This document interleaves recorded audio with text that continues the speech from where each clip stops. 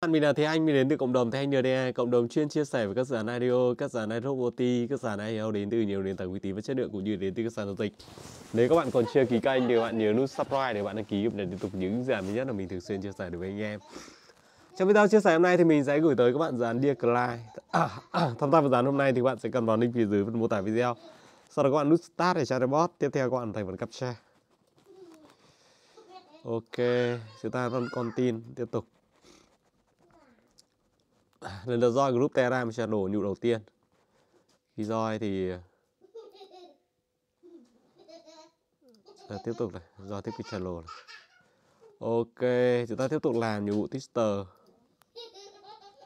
Rồi chúng ta cũng sẽ mở cái Discord ra. mở cái YouTube nói chung các bạn mở tất cả những kênh mạng xã hội ra đây. Dự án ngày hôm nay đến từ nền tảng Solana và có thể là dự án đến từ nguồn iRope Instapack chính xác luôn. Rồi chúng ta cũng mở tiếp cái iRope Instapack này bởi kênh YouTube. Ok, giờ submit đi tên này. Cho đôn này. Ờ, chúng ta sẽ có các nhiệm vụ. Trước tiên là chúng ta join vào Discord nha. Rồi follow này, đăng ký kênh và tìm thấy cái video mới nhất tiến hành like ấn vào nút chia sẻ nút uh, twitter nút tít này Đấy. chúng ta tìm đến cái dự án hôm nay người ta làm decline này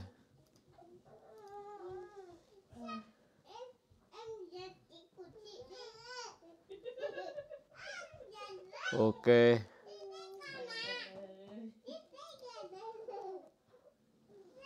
Ta rồi cái nít code này ở đây nó cũng sẽ có phần ấn dấu tích để vary đấy. đấy chúng ta uh, xong này. Đi cái follow này ở trong cái trang chủ dự án chúng ta tiến hành live retweet này. Ok tới này chúng ta điền profile của kênh uh, Terra, kênh Twitter đúng không ạ? Ta vào phần profile để copy profile nói chung iRoot Instapack thì chỉ là hai cái nhiệm vụ retweet thôi. Còn những cái khác là follow follow và join. Chúng ta cứ thế chúng ta làm thôi. Discord chúng ta paste phần email Discord vào này. Chọn đôn nha.